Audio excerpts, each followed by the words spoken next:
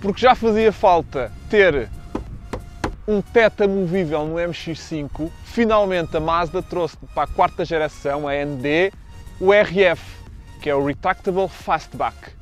E basicamente temos aqui esta silhueta de coupé quando está fechado e este aspecto de targa quando está aberto. E é muito rápido, querem ver?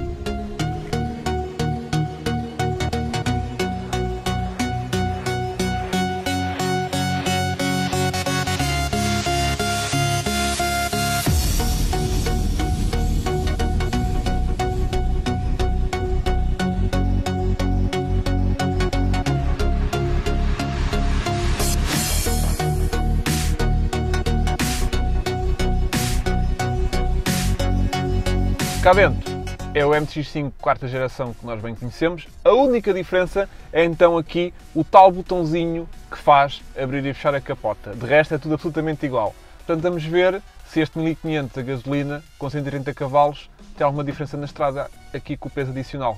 Bora lá então.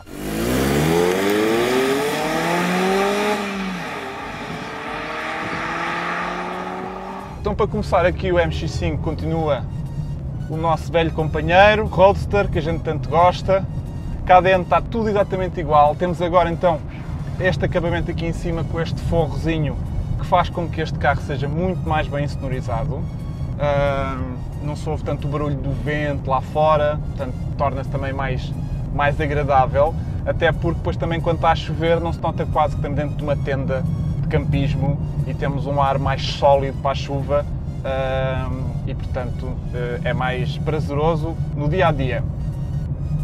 Agora vou aproveitar para abrir aqui a capota, que se pode abrir até 10 km por hora. Portanto, eu vou fazê-lo em andamento, assim.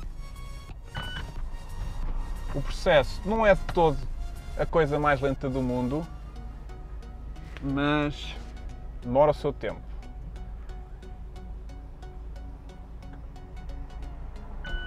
Ah está. É claro que descapotável é onde nós ouvimos aqui toda a essência do MX5. Temos aqui uma pequena abertura para o vidro, para este pequeno defletor que temos aqui e o vento circula por este bocadinho e temos este aspecto de targa e basicamente não é muito diferente da experiência do MX5 Roadster. O barulho está cá todo, o nosso conhecido já Sky Active.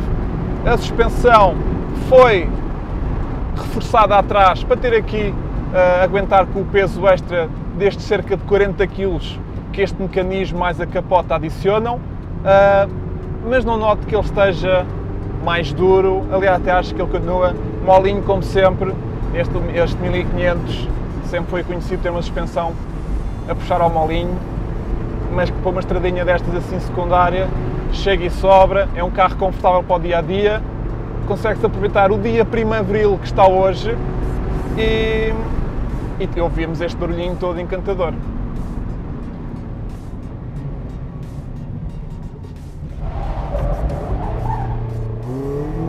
Inversão de marcha, como é óbvio. Não se ouve assim muito barulho. Aliás, acho que vocês me conseguem ouvir ainda na boa. A direção, apesar de elétrica, continua com muito bom feeling, mas realmente não noto que a traseira esteja mais pesada nem mais, nem mais desajeitada. Continua com um bom equilíbrio, eu acho. Portanto, espero que tenham gostado aqui do nosso brevíssimo contacto com o Mazda MX-5RF.